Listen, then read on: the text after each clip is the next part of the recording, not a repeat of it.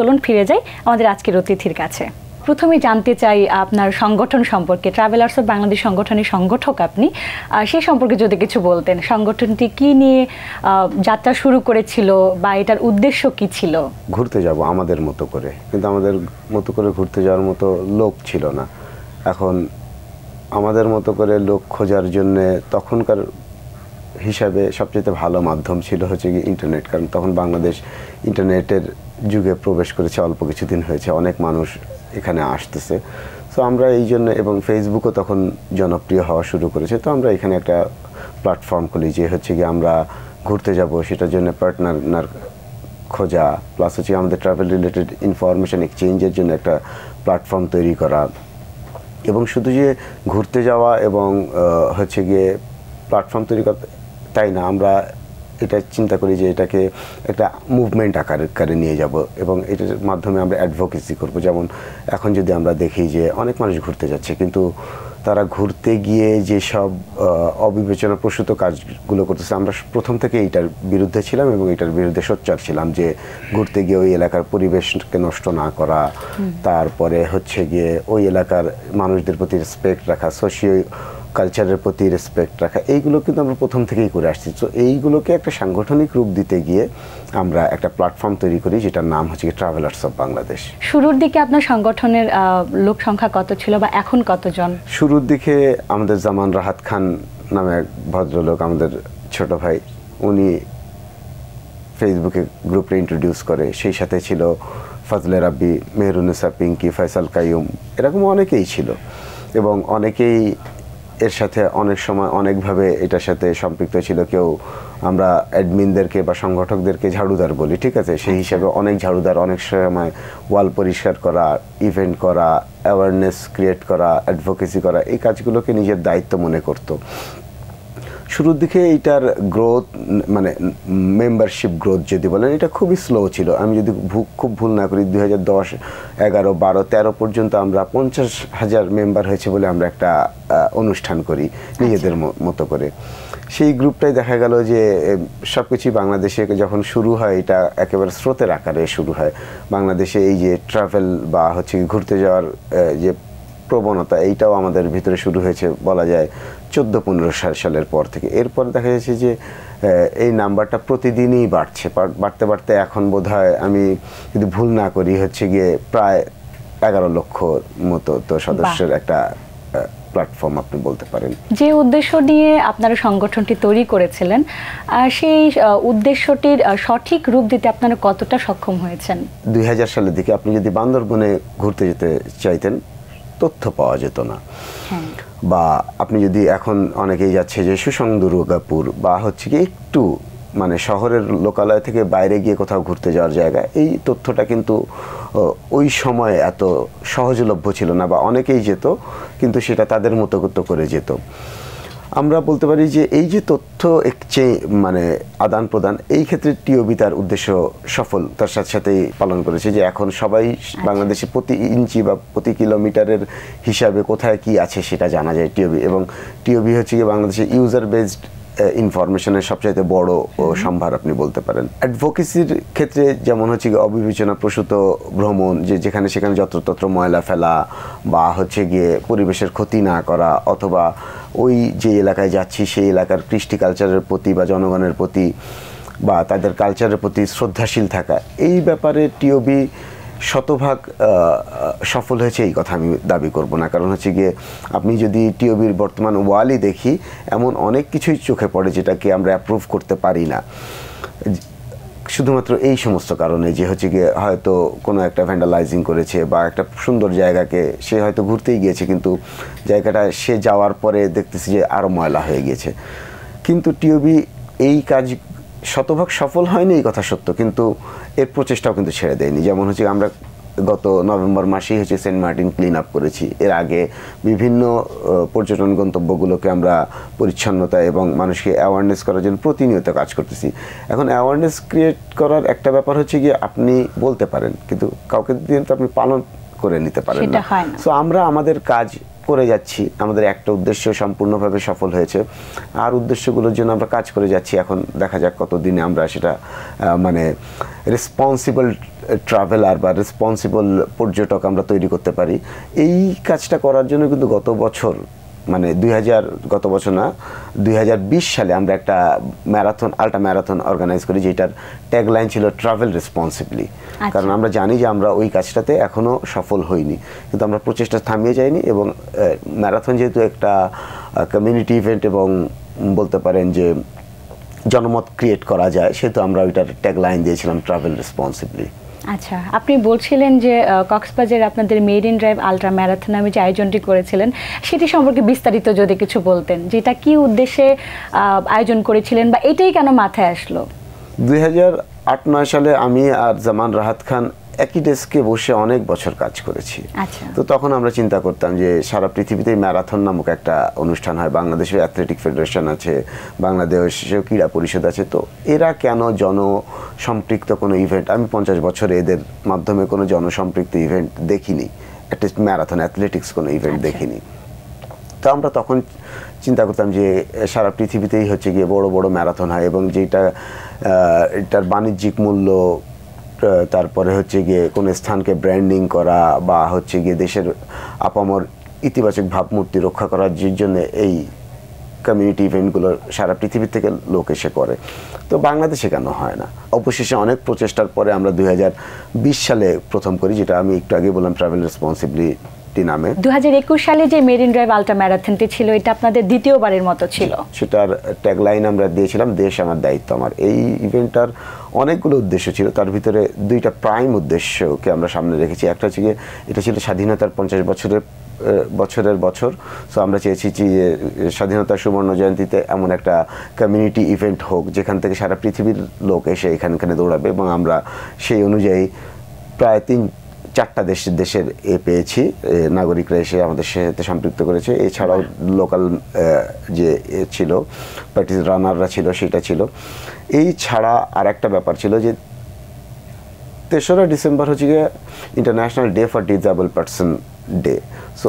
এইটাও আমরা পালনের চেষ্টা করি এবং এই জন্যই আমরা সারা পৃথিবীতে যখন ম্যারাথন বা আল্ট্রা ম্যারাথন হয় এখানে হচ্ছে গিয়ে একটা স্লট থাকে বা একটা ক্যাটাগরি থাকে হুইল চেয়ার অথবা অর্গান রিপ্লেসমেন্ট অথবা ফিজিক্যাল ডিজেবল অন্যভাবে যারা তাদের থাকে। তো এইবারের ম্যারাথনেও কিন্তু আমরা হুইল চেয়ার ইনকর্পোরেট করেছি।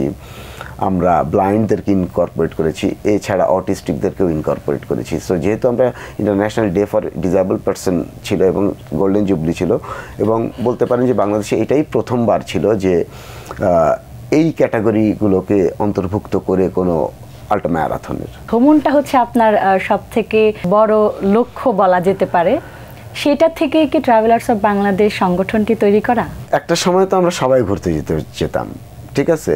আমরা যারা ট্রাভেলার্স অফ বাংলাদেশে সাথে যুক্ত। অথবা আমাদের ওই একটা মনে করেন যে দুই ছয় থেকে দুই হাজার তেরো চোদ্দ পর্যন্ত একটা প্যারাডিগাম ছিল যে, যখন আমরা সবাই একটু বয়সেও কম ছিলাম এবং কাজের ব্যস্ততা কম ছিল বা জীবনের বাস্তবতা কম ছিল, তখন আমরা ঘুরতে যেতে চেতাম সেই প্রেক্ষাপটেই ট্রাভেলার্স অফ বাংলাদেশ তৈরি করা। করোনার এই মহামারীতে স্বাস্থ্য সচেতনতা নিয়ে ঘুরতে যাওয়া আর সেই বিষয়টি সম্পর্কে আপনাদের ট্রাভেলার্স অফ বাংলাদেশ সংগঠনটি কীভাবে প্রস্তুতি গ্রহণ করেছে বা কীভাবে মানুষকে সচেতন করছে?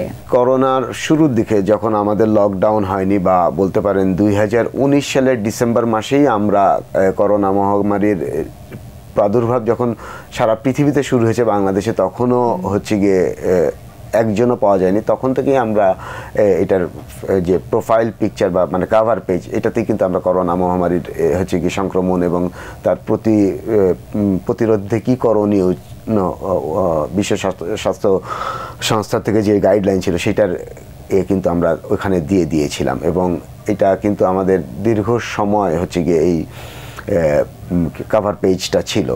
এছাড়া বিভিন্ন সময় করোনা রিলেটেড যে সমস্ত পোস্ট আমরা কিন্তু অ্যাপ্রুভ করেছি। এবং ব্যক্তিগতভাবে বেশ কিছুদিন আমরা ভ্রমণ সংক্রান্ত যে তথ্য শেয়ার মানে আদান প্রদান এটাও আমরা বন্ধ রেখেছিলাম। যে করোনার ভিতরে আমরা চাইনি যে কেউ ঠিক আছে আমার করোনা হয়নি কিন্তু আমি তো ক্যারিয়ার হতে পারি। আমি একটা জায়গায় গেলে একটা নতুন জায়গায় জায়গায় ইনফেক্টেড হতে পারে। সেই কথা চিন্তা করে আমরা কিন্তু পোস্ট অ্যাপ্রুভালও বন্ধ রেখেছিলাম। সচেতনতার ক্ষেত্রে আমি এর আগেও বলেছি যে আমরা বলতে পারি। আমরা তো কাউকে করিয়ে নিতে পারি না। করিয়ে নিতে পারে হচ্ছে গিয়ে সরকার। যেমন হচ্ছে গিয়ে যখন লকডাউন দিয়েছে, আমরা ঢাকা শহরে দেখেছি যে রাস্তাঘাটে লোক ছিল না। কিন্তু বাজারে গেলেই দেখা যাচ্ছে যে, মনেই হচ্ছে না যে দেশে কোনো মহামারী চলছে। তো ব্যক্তিগত সচেতনতার ক্ষেত্রে আমরা আমাদের প্রিচিং করেছি সামগ্রিকভাবে, কিন্তু ব্যক্তিগত সচেতনতা যার যার উপরে। কারণ সবার কাছে সবাই নাম্বার আমি করোনাতে আক্রান্ত হলে সরকারের কাছে যেমন আমি একটা নাম্বার আমার প্রতিবেশীর কাছেও নাম্বার। আমি মারা গেলে আমার পর- পরিবার পরিজনজনই সবচেয়ে বেশি আক্রান্ত হবে। অন্য কেউই এত ক্ষতিগ্রস্ত হবে না সেটা যে কোনো মূল্যে। তো সবাই সবার নিরাপত্তা নিবে আমি তো আমার কথা বলেই দিয়েছি। আপনার ভ্রমণ জীবনের শুরু সেই শুরুর গল্পটা একটু জানতে চাই। আমার বাসার পাশেই কমলাপুর রেল স্টেশন। আচ্ছা। দেখা যাচ্ছে যে অনেক ছোটবেলায় এবং তখন কমলাপুর রেল স্টেশনের এত বাউন্ডারি ছিল না খোলাই ছিল আমরা খেলতে যেতাম। দেখা যাচ্ছে যে একটা ট্রেন যাচ্ছে আমরা ট্রেনে উঠে পড়লাম। আচ্ছা। যেহেতু মাইনর ছিলাম ট্রেনে যে টিটিটা পরবর্তীতে বুঝতে পেরেছি এটা খুবই অন্যায় একটা কাজ ছিল কেউ এটা না করুক। তো টিটিরা হচ্ছে গিয়ে খুব একটা যেহেতু মাইনর ছিলাম কিছু বলতো না। কিন্তু তারপরে অনেক টিকিটটি বলতো যে টিকিট কেটে নাও। তো আমরা এই টিকিটটা ট্রেনে কেটে নিতাম স্ট্যান্ডিং আচ্ছা, টিকিট টিকিট একটু বেশি টাকা দিয়ে পড়তো। কিন্তু তারপরে কারও উচিত না এটা শুরু বলতে পারেন যে ট্রেন যাচ্ছে আচ্ছা ঠিক আছে একটু ট্রেনে চড়ে দেখি কীরকম।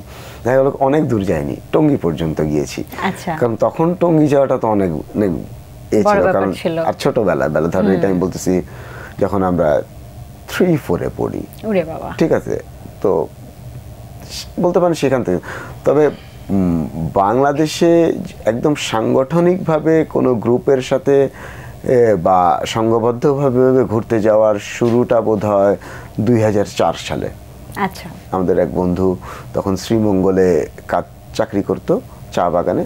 তো আমরা সবাই মিলে চা বাগানে ঘুরতে গিয়েছিলাম। এইটা হচ্ছে গিয়ে বলতে পারেন যে সাংগঠনিকভাবে যাওয়া শুরু। কিন্তু এর আগেও ধরেন আমি সাতাশি অষ্টআশি সালে অনেকবার ইন্ডিয়াতে গিয়েছি। ম্যাট্রিক পরীক্ষার পরে গিয়েছি যখনই ছুটি ছাটা পেতাম কোথাও না কোথাও ঘুরতে যেতাম। কিন্তু বাংলাদেশে ঘুরতে যাওয়াটা আসলেই আমার একটু কম হয়েছে এবং অনেক পরে শুরু করেছি। কিন্তু অনেক পরে শুরু করার পরেও বাংলাদেশে ধরেন দশ বছর আগে কোনো পর্যটন গন্তব্যের যে অবকাঠামো বা সেটার যে সৌন্দর্য ছিল, এখন এই কয়েকদিন আগেও একটা জায়গায় গিয়েছিলাম, দেখলাম যে এত নষ্ট হয়ে, করে ফেলেছি আমরা। অতি ব্যবহার এবং আহ, অজ্ঞানতা প্রসূত আচরণের কারণে এখানে আর মানে সেই মজাটাই নেই আসলে বলতে পারেন। এটার জন্য আসলে কারও কাউকে দায়ী করব না এই ব্যাপারটার জন্য আমি আমার ব্যক্তিগতভাবেই নিজেকে দায়ী করব যে আমরা হয়তো ব্যর্থ যে আমরা মানুষকে সচেতন করতে পারিনি আমরা স্কুলিং করাতে পারিনি। এটা আমাদেরই ব্যর্থতা আমি বলব। সবশেষে আপনাদের সংগঠন নিয়ে আপনাদের ভবিষ্যৎ পরিকল্পনা সম্পর্কে একটু জানতে চাই। ট্রাভেল অ্যাডভোকেসি করছিলাম তারপরে হচ্ছে কি আমরা নিজেরা ট্রাভেল করছিলাম আমাদের মতো মতো করে আমরা কিছু হচ্ছে কি কমিউনিটি কাজ করছি করছিলাম যেমন আমাদের স্কুল একটা কয়েকটি স্কুল চালু আছে আমাদের ঠিক আছে? এই স্কুলগুলিকে আরও সুন্দরভাবে করা এবং আমরা চাচ্ছি যে সামনে আমরা একটা সুন্দর একটা স্কুল করব। যে স্কুলে পড়াটা প্রিভিলেজ আন্ডার প্রিভিলেজদের জন্য করব। কিন্তু প্রিভিলেজ কমিউনিটি এ আক্ষেপ করবে যে আমি কেন আন্ডার প্রিভিলেজ হলাম না এরকম স্কুলে পড়তে পারতাম। যেমন ধরেন আজকে আমরা সবাই আক্ষেপ করেছি যদি আমি অক্সফোর্ডে পড়তে পারতাম। ঠিক আছে? আচ্ছা। এরকম একটা স্কুলিং করার ইচ্ছা আছে। আর অ্যাডভোকেসি যেটা করতেছি সেটা আমরা চেষ্টা করব যে সরকারের সাথে সম্পৃক্ত হয়ে আরেকটু জোরদার করা। কারণ এখনই যদি আমরা আমাদের কমিউনিটিকে অ্যাওয়ার না করতে পারি, তাহলে দেখা যাবে যে কিছুদিন পরে আমাদের যে প্রাকৃতিক যে সৌন্দর্যের জায়গাগুলি, সেগুলি আর থাকবে না। সো আমাদের আগামীতে টার্গেট হচ্ছে গিয়ে সবচেয়ে বেশি জোরদার করা অ্যাডভোকেসি এছাড়া বিদেশি ট্রাভেলারদের জন্য আমরা একটা ওয়ান স্টপ সার্ভিস এ করতে চাই ইন্ট্রোডিউস করতে চাই সরকারের সাথে যে যে কেউ যে স্পেশালি বিদেশি বা এক্সপ্যাক্ট্রিয়েট যারা আছে, তারা যাতে এখানে ফোন করলে বা এই ডেস্কে আসলে ওয়ান স্টপ সার্ভিস পেয়ে যায় তা ধরেন সে বান্দরবনে ঘুরতে যেতে চায়। একুশটা যায় জায়গাতে পারমিশন লাগে ঠিক আছে? এই জায়গাতে সে বলবে যে আমি ঘুরতে যাই যেতে চাই বাকিটা হচ্ছে গিয়ে এই ডেস্ক করে দিবে। আপনার জন্য এবং আপনাদের সংগঠনের জন্য অনেক অনেক শুভকামনা। আমাদের অনুষ্ঠানে আসার জন্য আপনাকে অনেক অনেক ধন্যবাদ। আপনাকেও ধন্যবাদ। প্রিয় দর্শক এতক্ষণ কথা হচ্ছিল অতিথির সঙ্গে। এবার সময় হলো বিদায় নেবার। আমাদের অনুষ্ঠান সম্পর্কে আপনার যে কোনো মতামত ও পরামর্শ জানাতে লিখুন এই ঠিকানায়। প্রযোজক, দিন প্রতিদিন বাংলা ভিশন নু টাওয়ার, একশো দশ বীরত্তম C R Dutta road Dhaka এক দুই শূন্য পাঁচ। ফোন নয় ছয় তিন দুই শূন্য তিন শূন্য থেকে চার। আমাদের ইমেল অ্যাড্রেস দিন প্রতিদিন অ্যাট বাংলাভিশন ডট টিভি মার্কিন রাজনীতিবিদ ও দার্শনিক আব্রাহাম লিঙ্কনের একটি উক্তি বলে বিদায় নেব আজ। তিনি বলেছেন, অন্যের মতামত ছাড়া কোনো মানুষেরই শাসন করার অধিকার নেই। প্রিয় দর্শক, সবাই ভালো থাকুন, সুন্দর থাকুন। আর সারাদিন সবার জন্য শুভ ও আনন্দময় হোক।